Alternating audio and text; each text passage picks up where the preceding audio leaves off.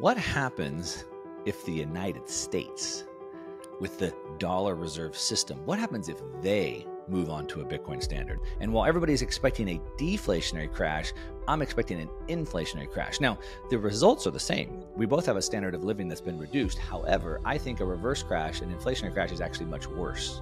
But here's really where it gets really interesting. But if Trump wins, I think we could be at the top end of that range, which again would be, you know, somewhere in that $400,000 range. In a recent interview, entrepreneur and investor Mark Moss has revealed mind blowing predictions about the state of Bitcoin depending on the results of the election. He also shared some of his secrets on why he believes Bitcoin cannot be stopped even when faced with a massive crash. Let us now view clips of Mark Moss as he explains more on his latest prediction on Bitcoin. Give this video a like to show your support and subscribe for your daily dose of crypto news. We hope you enjoy. Before we continue with the rest of the video, do check out daily 5-minute crypto newsletter with all the latest crypto and Bitcoin news. It's a fantastic analysis of on-chain crypto data and breakdowns, and the best part is it's absolutely free. They'll cover expert predictions, breakdowns of on chain crypto data, and any breaking news you need to know, all in a nutshell. Click the first link in the description and enter your email to join over 50,000 others in becoming a better crypto investor right now you know, when you're looking at projections and you're looking at numbers into the future, um, if the numbers are too far off, it almost seems like the analysis is sort of worthless. But in this in this regard, because we have such a pivotal moment happening, uh, we sort of look at this. So what I would say is 100%. So we have Kamala, you know, the Biden administration, Kamala administration has been overly aggressive against Bitcoin and just cryptocurrency in general. From you know what's happened with Caitlin Long's bank Custodia, you know the Fed denying bank charters, um, all the way down to attacking on and off ramps, et cetera, um, as well as just taking an aggressive stance to it overall, including, you know, Elizabeth Warren passing all types of bills that could make it even illegal to uh, potentially mine Bitcoin or transfer Bitcoin um, on a self custody basis. So very, very aggressive on that level. Um, on the other side, we have, you know, RFK and, and Trump both sort of taking this pro Bitcoin stance. And now, of course, they've come together in that regard. And so we certainly have this very stark difference. But here's really where it gets really interesting for me, anyway, is that, you know, when we think about Bitcoin adoption, we think about game theory. And so who's going to move first? And in the world of investing, or just in the world period, it's, it's a competitive world. Business is competitive, but in the world of investing, it's competitive. And so if a fund is outperforming me because they've added gold, well, I should probably add gold. If a fund outperforms me because they've added Bitcoin, I should probably add Bitcoin as well. But what about when a nation adds Bitcoin? And so we saw El Salvador do that.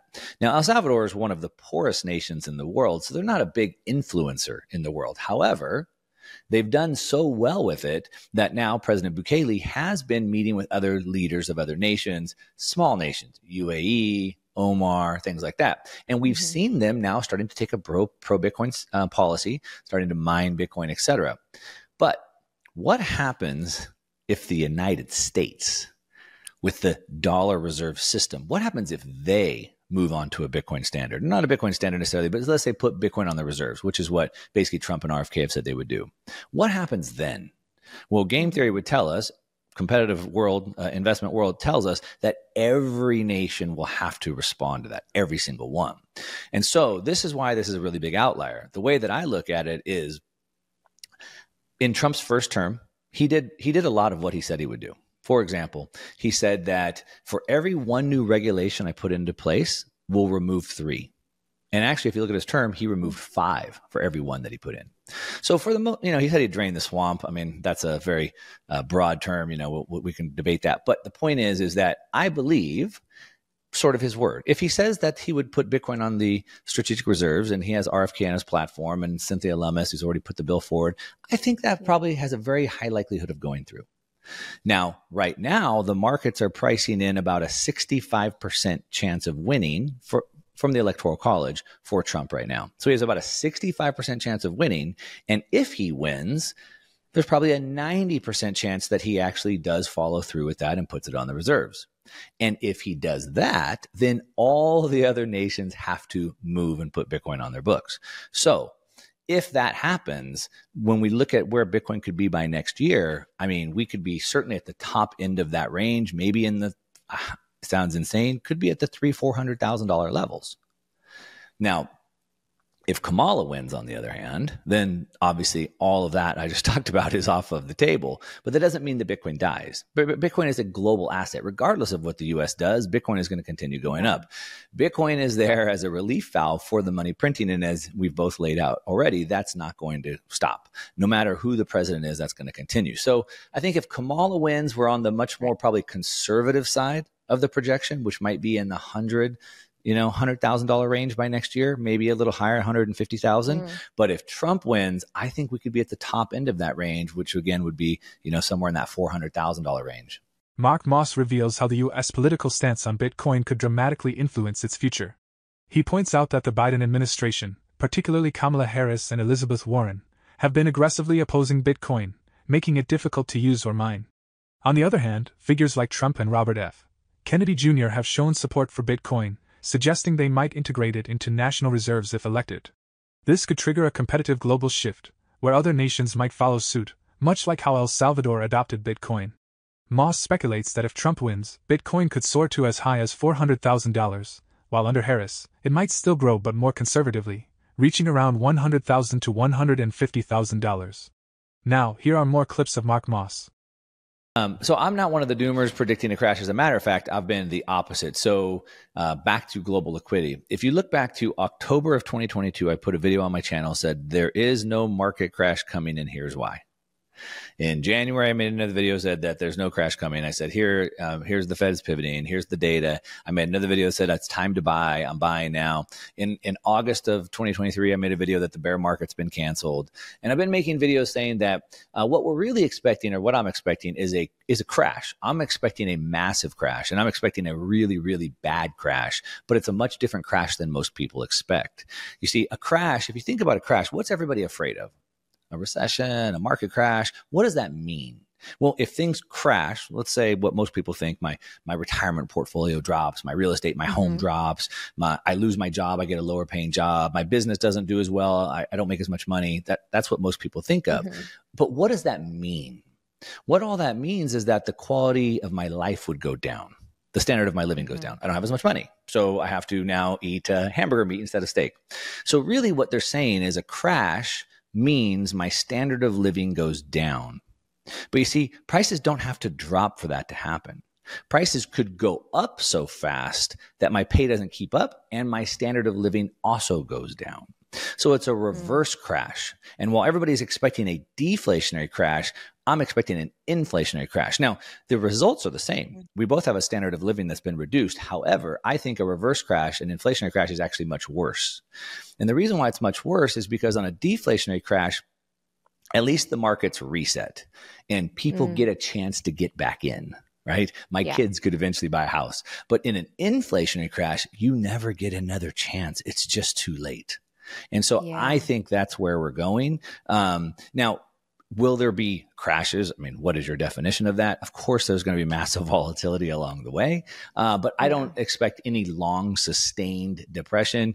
You know, maybe we see some sort of flash crashes, sort of like we saw in 2020, that probably last half the time, something like that. Not tradable events uh, because it's going to be volatile along the way. I mean, if you look at the chart of the Weimar inflation, hyperinflation, and mm. I'm sure you've seen it, right, with the red lines overlaid, the volatility was insane, and so we'll have yeah. that. Uh, but I'm expecting the crash. You mentioned that there are some markets where real estate has gone down. But on a US mm-hmm. national median basis, real estate is not down, it's up. Right. And that's because, as I made the case, it's a perfect proxy for this inflation. So the US has been increasing M2 by about 10% since 2019, and they're scheduled to continue to do mm-hmm. that. So in five years from now, where is real estate? It's up 50%. It's up mm. 50%. Now, not every single house, if you, you have to understand there's no such thing as a real estate market. There's thousands of markets. So even take Miami. Yeah. Miami's up 8% year over year. But there's condos in Miami that are down 50%. But wait, you said yeah. Miami was up. Yes, as a whole, but that doesn't mean that some condos along the water that were right. overbuilt aren't still down 50%. Um, in Austin, it was the best performing market for 20 years overall it's down about 20% austin right now but there's still some areas of austin that are way up.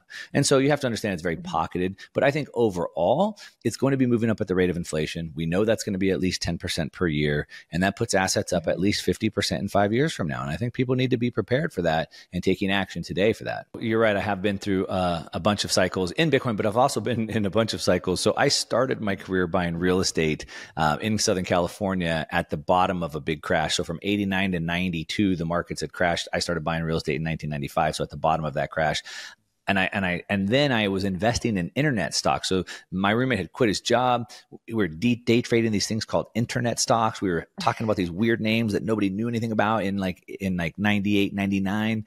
Um, yeah and the the reason why I bring that part up, and then obviously the dot com crash, but the reason why I bring that part up, Natalie, is because we were trading these things called internet stocks, and people thought we were crazy talking about these internet stocks. But today, there's no such thing as internet stocks; they're just companies. Mm-hmm. And the reason why I bring that up is because we'll, we'll come fast forward. So now, uh, yeah, I started I started looking at Bitcoin at, at, around 2013 when the price started running up, and I was going to buy. I'm like, oh my gosh, what, I don't know what this thing is, but it's going up. Then it spectac- yeah. spectacularly crashed. I didn't buy it. I started buying in 2015 around 300 bucks, and I saw it run from 2015 to 2017, got up to twenty thousand dollars. And I was writing a cryptocurrency newsletter every once in a while someone on Twitter wants to call me out. Oh, look, this guy used to be crypto. Yeah, I talk about it all the time. I wrote a crypto newsletter and I personally turned, I, I personally turned about a hundred grand into over $5 million in that time period.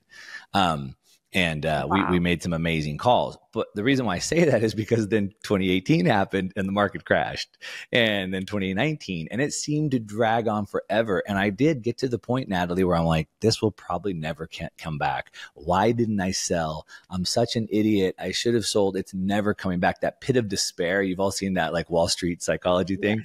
Yeah. Uh, the pit of despair was like, it's never coming back. What's going to happen? But it did. And every time it crashes, we start asking ourselves if it's ever going to come back. And it does every time. Mark Moss explains that he's not expecting a traditional market crash where prices plummet and people lose jobs or wealth. Instead, he predicts an inflationary crash, where prices rise so fast that people's income can't keep up, effectively reducing their standard of living. In this scenario, even though asset prices may not drop, people still struggle because everything becomes more expensive, making it harder to maintain their lifestyle. What about you? Given the possibility of an inflationary crash that could drastically impact our standard of living, how can individuals best prepare themselves to protect their financial future? Share your thoughts in the comments section below and continue the discussion. If you found value in this video, don't forget to give us a thumbs up and subscribe to our channel for more insightful discussions on cryptocurrency and finance. Thanks for watching. We hope to see you again. For more daily dose crypto news, check out these two awesome videos on your screen. Click now and we will see you on the next video.